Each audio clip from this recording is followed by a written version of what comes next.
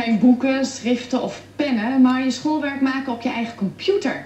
Kinderen in Sterksel doen dat. Sinds vandaag hebben ze allemaal hun eigen mini-laptop.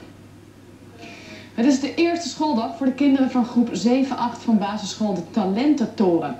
De kinderen in het zuiden zijn de laatste die vandaag aan het nieuwe schooljaar beginnen. Het is uh, wel leuk om, uh, ja, op een gegeven moment heb je toch wel eens in een school.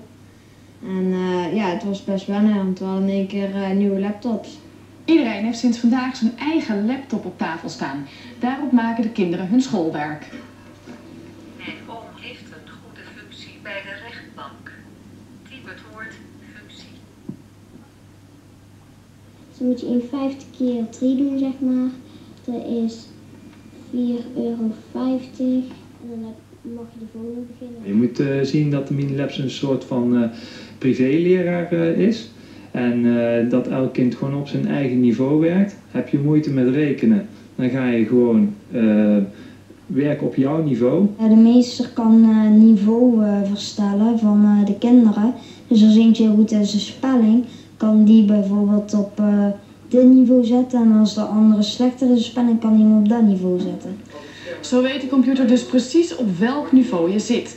En daardoor kan iedereen zelf aan de slag met alle vakken. Meester Hein, dat is onze meester, die doet dan op het activebord die daar hangt, geeft hij aan wat wij moeten doen. Maar we krijgen meestal krijgen we een voorbeeldles, dan helpt hij ons met één les en verder moeten we het zelf doen. Het is eigenlijk leuker als schrijven. Schrijven is een beetje ja, ouderwets aan het worden en het is wel iets heel nieuws. Dan krijg je niet van die lamme handen, zeg maar.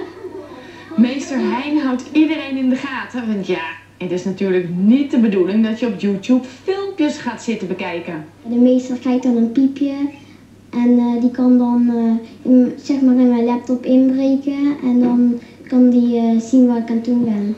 Handig, zo'n computer waar je alles mee kunt. Maar kunnen de boeken, schriften en de leraar nu de deur uit? Ik denk dat het toch wel fijn is als we een leraar hebben die ons toch wel helpt. Want we hebben toch wel veel vragen als de computer raar doet of zo. Dus. En ook de boeken en schriften blijven, daar maken de kinderen nog opdrachten in.